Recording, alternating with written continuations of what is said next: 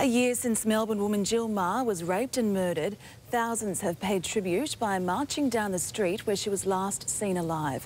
As Jayde Vincent explains, a defiant crowd called for an end to violence against women.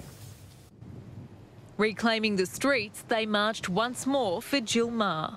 One year on, and the impact of her murder is still raw. Our baby um, was born the day Jill went missing, and it holds special poignance to us. We live down the street um, and we had to be here. Retracing the 29 year old's final steps down Sydney Road, Brunswick, women are desperate to feel safe on the streets again.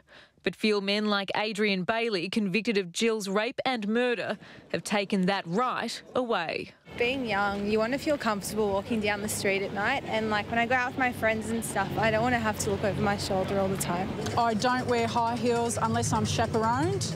Uh, generally, when I am chaperoned, it's by two males. Last year, 30,000 people marched in honour of Jill, calling for an end to violence against women.